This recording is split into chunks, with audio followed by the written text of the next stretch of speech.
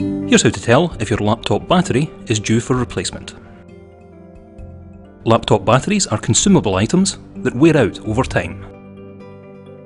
If your battery is near the end of its life, you'll likely notice that your system runs for less time than it used to on a full charge. You may notice other symptoms, such as your laptop suddenly shutting down, even though it indicates some charge remaining, or the charge level abruptly falling. To check your battery health, restart your laptop and press F2 repeatedly to enter the BIOS. Select General, then Battery Information. You can also check the battery health using diagnostic tools like Support Assist, or by visiting dell.com support and using our online diagnostics. If you notice that your battery is swollen, stop using the system as normal. Disconnect the AC adapter and allow the battery to drain fully. You may have to adjust your sleep settings to do this. Type Sleep into the Start menu, then select Power and Sleep Settings. Change the system sleep time to Never.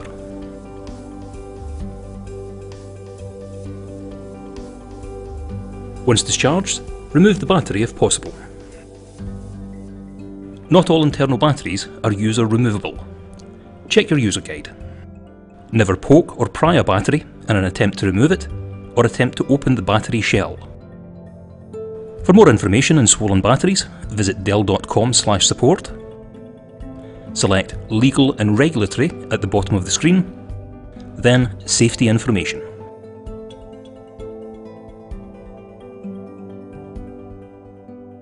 For more battery troubleshooting help, search dell.com support for SLN 292953.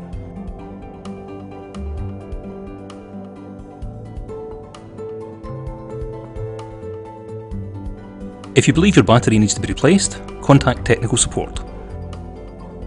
Click Contact Us on the right of our support page to see contact options and details for your region.